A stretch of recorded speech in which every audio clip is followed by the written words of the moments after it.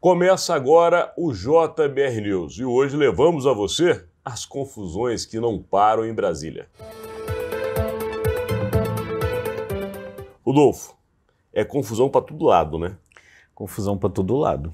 Impressionante. Como se não bastasse, ontem a expectativa que os deputados tinham, deputados e senadores, né? Os parlamentares de um modo geral, é que havia um certo acordo no Supremo Tribunal Federal que poderia arrefecer os ânimos com a história da decisão sobre orçamento secreto. E a ministra Rosa Weber, que nada mais é do que a presidente da corte, veio com um voto já falando que é inconstitucional e bateu forte no Congresso. Exatamente. É, ela, ela, não, ela não teve pena, ela, ela demoliu é, o orçamento secreto inteiramente. Na verdade, né, Alexandre, cá entre nós, quem assiste aqui a gente, a gente é, não ficou tão surpreso, porque é, ela é, aconteceu mais ou menos como a gente disse, que ontem ia ser só o voto da Rosa Weber, que ele ia, esse voto ia apontar para a inconstitucionalidade do orçamento secreto e que seria um voto muito longo. Mas foi de fato mais duro ainda do que se imaginava. Ela realmente demoliu, ela mostra os pontos da Constituição que tornam isso inconstitucional, que a, é, a Constituição fala claramente nos princípios de impessoalidade, né, nos princípios de proporcionalidade e que o orçamento secreto quebra esses princípios todos e que a própria legislação que regula o orçamento fala que as emendas de relator seriam apenas para corrigir distorções, o que não é o caso, né? Então, realmente, ela demole a coisa.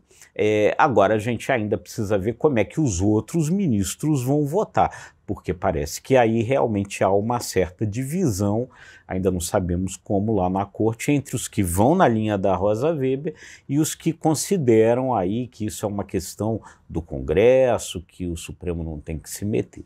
É, a gente está acompanhando a decisão final, acredita-se que acontecerá hoje, mas como você falou, pode ficar para outra semana ou talvez para o próximo ano. Agora, o reflexo disso já foi imediato. Eu ontem conversando com um parlamentar da Câmara, ele disse o seguinte, que o sinal foi trocado. Porque na semana passada, o que havia de conversa com o governo eleito era que as coisas estavam indo para a pacificação, que o Supremo deveria ter uma tendência de deixar este assunto como o Congresso mesmo estava disposto a aceitar. Você mesmo lembrou ontem da proposta que foi mandada pelo Exatamente. Rodrigo Pacheco. Que a Rosa Weber nem considerou. Pronto. Né? E aí ele me falou o seguinte: que a Rosa Weber fez o contrário. Ela não somente descartou a proposta do Congresso, como demonizou foi a palavra que eu ouvi demonizou o Congresso Nacional. E que por esse motivo, eu vou acabar revelando qual a sigla desse deputado, o PL vai votar todo o contrário à PEC. Portanto, já são um, já é um grande número de parlamentares, já tem adesões de ontem para hoje de União Brasil e de outros partidos que são ligados ao Lira, lembrando que o Lira tem ali mais ou menos uns 140, 150 votos fiéis a ele.